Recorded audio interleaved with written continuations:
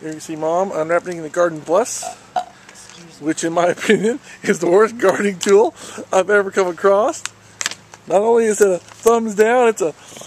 Put that over there with the other and, and be quiet. If you see this, with these wires, in my opinion, do not buy. That's the lower one. But then again, that's just my opinion.